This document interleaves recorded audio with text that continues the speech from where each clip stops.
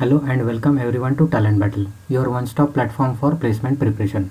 Here we have come up with another off-campus opportunity update for 2021 batch. Salesforce is hiring 2021 batch students. I would urge everyone to watch the video till the end so that you will get, understand two vital things. Number one, eligibility criteria. Number two, application process.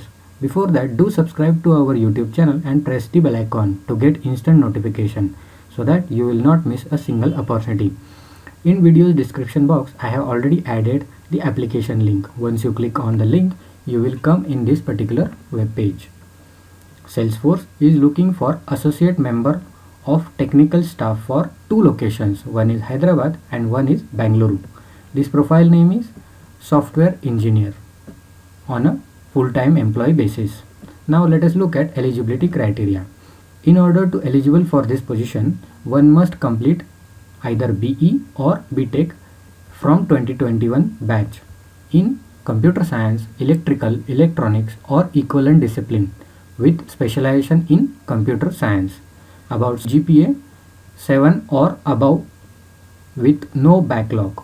Please go through required skills and desired skills for this position which will help you to understand the requirements carefully.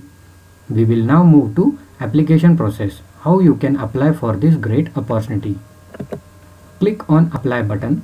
If you have account in myworkdayjobs.com then enter your email ID and password. But if you do not have then create it. Since I have my account I will just enter my email address and password.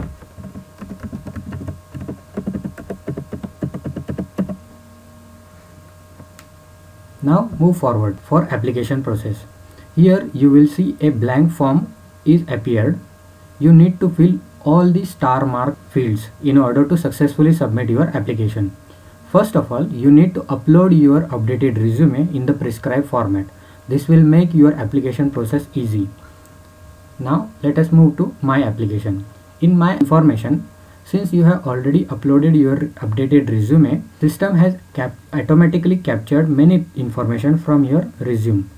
You must recheck everything in order to correctly apply for this particular form. If you find any correction needed, please do so.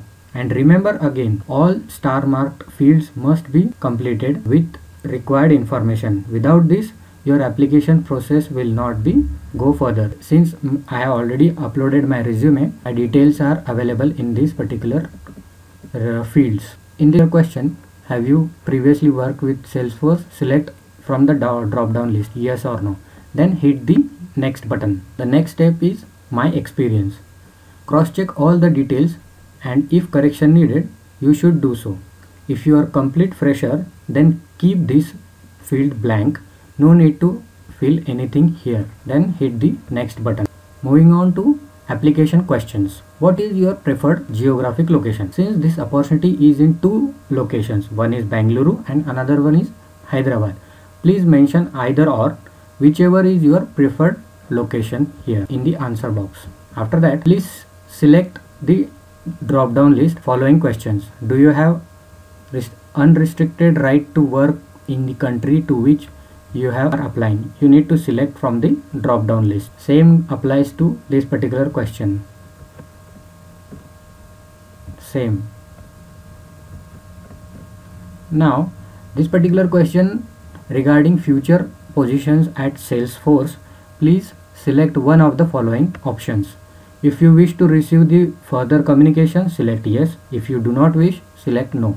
Then hit the next button Moving on to voluntary disclosures. This particular part needs to be selected from the drop down list. In terms and conditions part, please click this particular box and hit the next button. Now in review, this will be your final stage of the application process where you need to read all the information mentioned in the field and if you satisfied that all fields are correct and do not require any correction hit the submit button. This way your application is submitted at Salesforce for the post of software engineer. Thank you for watching the video.